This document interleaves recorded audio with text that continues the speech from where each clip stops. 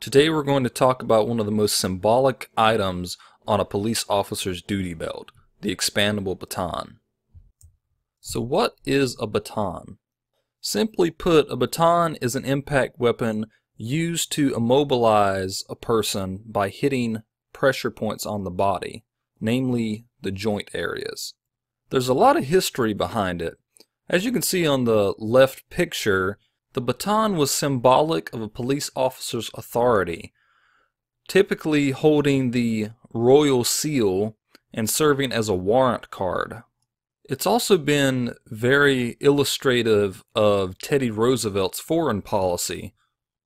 He can be seen in many pictures being shown with a large stick, and this is symbolic of the baton itself. He famously said, Speak softly and carry a big stick. You will go far. Although the baton came into existence during the 1800s with Robert Peel's bobbies, it has since that time become more symbolic as a tool of oppression and police brutality. The baton's gone over many variations since the 1800s.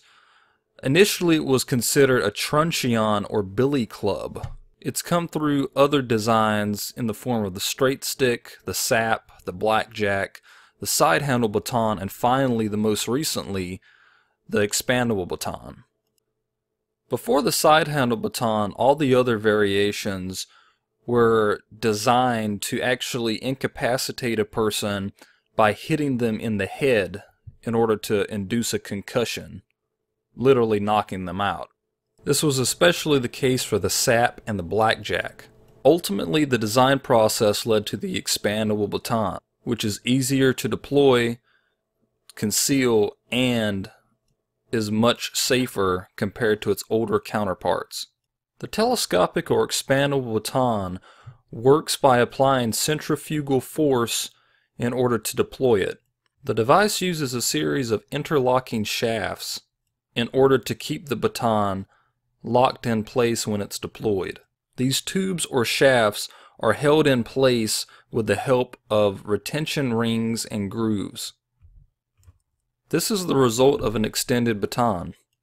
The shafts allow the baton to be easily deployed and retracted as needed. It comes in different sizes, typically 12 inches, 16 inches, 21, and 24 inches long. This provides you as much length as you need for concealability or extended reach in an altercation. Batons are commonly known as ASPs, just as stun guns are considered as tasers. It's a genericized trademark.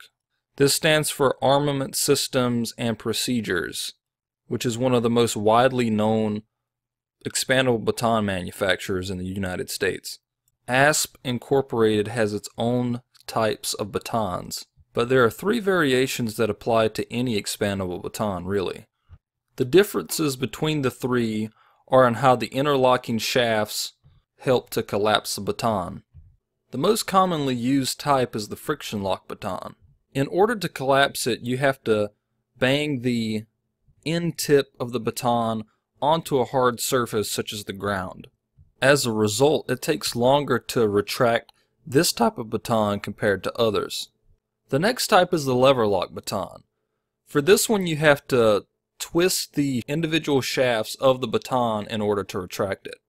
And finally, the newest type is the disc lock baton. I commonly call this the push button baton because ASP has a model called the Air Talon, which has a button on the end cap of the baton which you can push in order to retract the shafts. This is by far the easiest way to retract a baton because it requires no friction or force in order to do so. As mentioned before, older batons such as the sap and the blackjack were used to hit a person in the head in order to incapacitate them. The problem with these is that they cause severe head trauma, and sometimes fatalities. With the creation of the expandable baton, the target areas of the body have been changed. The ideal sections of the body to strike are the joints, namely the arms and the legs. The target areas to completely avoid are the solar plexus, the spine, the back of the neck, the head, and the groin. This is why, as a civilian, you should definitely get training on this. Not only to go over target areas, but also to properly deploy a baton. There's a number of different brands out there. As mentioned before, ASP or ASP is the most well-known brand or manufacturer of expandable batons. But we also have Monadnock, Peacekeeper, Smith & Wesson, and a number of other brands, some more expensive than others, of course. I personally haven't tried Monadnock or Peacekeeper, but I've heard a lot of good things about them in the law enforcement community. I personally own an ASP Air Talon. I've used a Smith & Wesson baton before. They're pretty good. They're very affordable. And uh, yeah, it really depends on what your price range is and what type of quality that you want. But these four you really can't go wrong with. Now we come to the advantages and disadvantages of the baton. Of course, as we mentioned in this lecture, the baton itself is psychologically powerful. It's not as significant or as feared as the taser device, but it still has an influence over people. Of course, it's very physically strong. It's an impact weapon. It's typically made out of aluminum alloy or steel, depending on the manufacturer, and it can do a lot of damage. It's also very easy to deploy. It's just a flick of the wrist and it's out and ready to go. But there are of course disadvantages to using this. One is that it is a pain compliance tool. So if you're dealing with someone who's intolerant to pain or has a high resistance, or if they're intoxicated or on drugs, then it's not going to have much of an effect. That's if you're a civilian or if you're especially a police officer. Another problem is that it does of course require extensive training.